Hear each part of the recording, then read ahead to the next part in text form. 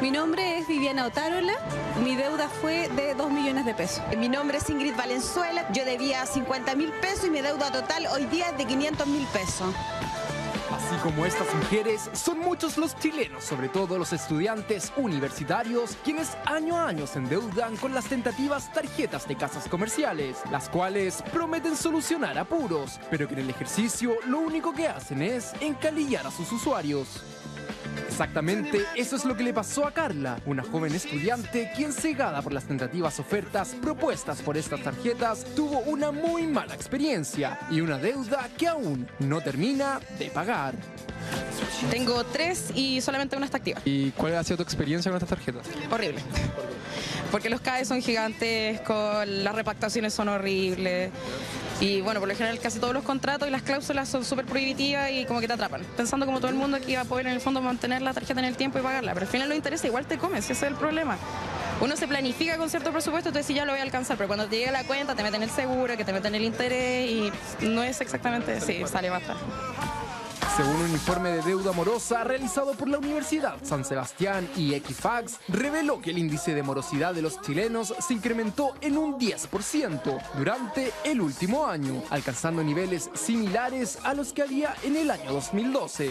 Durante estos meses de enero y marzo, la cifra también aumentó un 2,4% respecto del mismo lapso del año anterior, lo cual implica 90.890 personas con deuda morosa.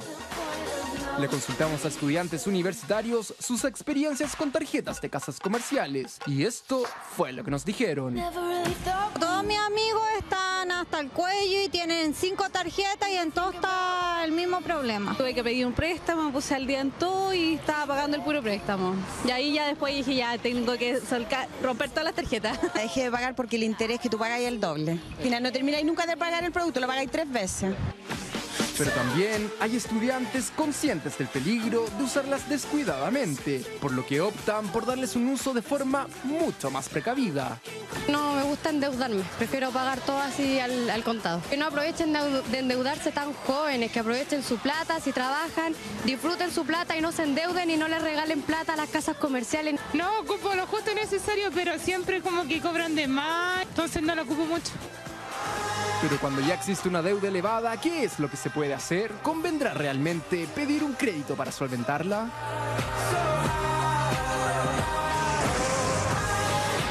Universidad Andrés Bello. Alejandro, ¿cómo estás? ¡Bravo! ¡Bravo el aplauso Bien, gracias. Gracias por la ¿Cómo invitación. salimos de la bicicleta? Son miles y miles los chilenos, ha ido aumentando la deuda de los chilenos. Las que- mujeres, sobre todo, ayer salió Mujeres. una encuesta que nos deja uy, A ver, en general eh, tenemos un, un- nosotros lo hemos hablado acá cuando empezamos a hacer las primeras, ¿se acuerdan? Los primeros pozos de estas críticas que teníamos con respecto a la reforma tributaria, estas críticas que de alguna manera también hemos ido deslizándose la reforma eh, laboral por las dos caras. De alguna manera protegemos muchos trabajadores, pero después también cuesta mucho que me reempleen. Si esa- siempre la- estas reformas tienen dos caras.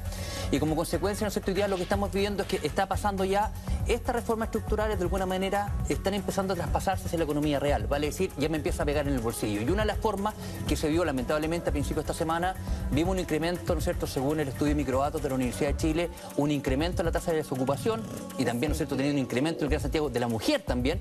Y como consecuencia también vemos un segundo estudio que salió publicado el día de ayer, ¿no es cierto?, en la Universidad de San Sebastián, en donde dice que, ojo, el endeudamiento, ¿no es cierto?, ha seguido creciendo. Y son, de alguna manera, estos cambios que empiezan a pegar en la economía real, que lamentablemente eh, pasa de esta política a la economía. Habla de que el endeudamiento ha seguido creciendo y la morosidad también, pero sobre todo de las mujeres, de los jóvenes y la tercera edad. Sí. O sea, nosotros hemos asumido más deuda. Los estudiantes de las universidades, lo hemos hablado mil veces, no le piden ningún requisito, no le piden estar trabajando y les dan tarjeta. Salen de la universidad con deuda.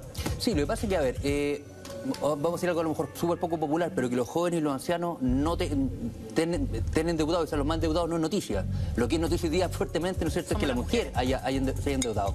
¿Por qué? Porque los, los- ¿no es cierto? los ancianos, obviamente, muchas veces con las pensiones que tienen no les alcanza para vivir y tienen que por obligatoriedad recurrir al crédito Ya. para poder, ¿no es cierto?, hacer estas bicicletas financieras y de alguna manera se las arreglan. Claro. ¿Y los jóvenes? Los jóvenes, los jóvenes efectivamente son los que de alguna manera van escuchando estos cantos de sirena y dicen, me puedo comprar un televisor, tengo una tarjeta que de alguna manera me permite a lo mejor salir con una niña, Claro. eh, me me permite una condición y me llevan de alguna manera artificialmente en Dios para esta fantasía de la inmediatez, ¿no cierto? De, la inmediatez. la gratificación, de la inmediatez de poder vivir una vida que final- Y la mujer- finalmente no me puedo y financiar. La mujer se endeu- se- está endeudada ahora porque al hombre se nos acabó el crédito, porque los maridos, porque las parejas eh, ya, no, ya no tenemos más capacidad, estamos demasiado endeudados, entonces uno empieza a pedir ayuda a la casa, pues te pídete un crédito, porque no, para solucionar esto, y pero la mujer termina endeudada porque el sistema ya no va más en la casa. No, yo diría que lamentablemente en Chile, hay, lo hemos hablado también con Julia acá con antelación, ¿no es cierto?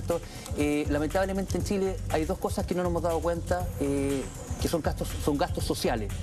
La tercera edad es un costo que tenemos que asumir como sociedad y la maternidad es un costo que tenemos que ¿no es cierto? asumir como maternidad, como, como un costo social, porque somos dos. O sea, este- el tango se habla dos y también la paternidad son de dos, pero en este caso lo que se lleva principalmente el mayor castigo en términos ¿cierto? de empleabilidad siempre es la la mujer. Alejandro, ¿cuáles son los tips, los consejos clave para poder salir de la bicicleta de las deudas? ordenarse, la- el- ¿no es cierto? Racionalizar las compras, meter, ¿no es cierto? Eh, eh, meter, ¿no es cierto? La caja, la caja fuerte o, o bajo siete llaves, ¿no es cierto? La billetera y pensar siempre, cada vez que requiera un tema, si verdaderamente, por Alejandro, y en ese sentido, eh, ordenarse, tú dices, eh, por ejemplo, si uno tiene varias tarjetas de casa comercial y tarjetas de crédito, es bueno cerrar la mayoría y concentrar solo en un lugar la deuda y ir pagando solo esa deuda. Es súper buena, es súper buena pregunta. Efectivamente, te- te- siempre tenemos, dijo, lo, lo dijo una niña ahí en la nota, nosotros cuando tenemos eh, tarjetas de crédito activas tenemos. Costos de administración, seguros asociados, de gravamen, de algunos tienen de desempleo,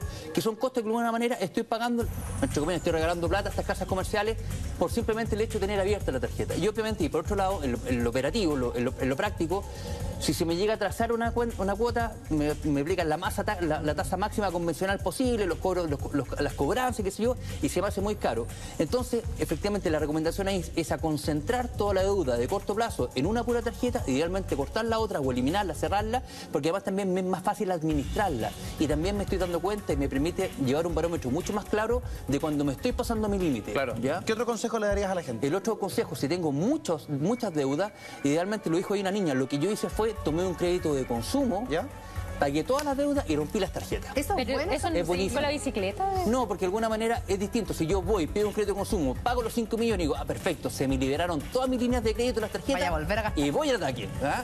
Pero es distinto cuando yo tengo este mismo, lo que estoy haciendo, estoy traspasando mi deuda de tarjetas, ¿no es cierto?, de crédito, de casa comercial o tarjetas de crédito, que además tiene un componente de tasa de interés muy alto. Eso. Me lo llevo a un crédito de consumo bancario, el cual tiene, si nosotros vemos los CAE, ¿no es cierto?, son muchito- mucho más bajos. Alejandro,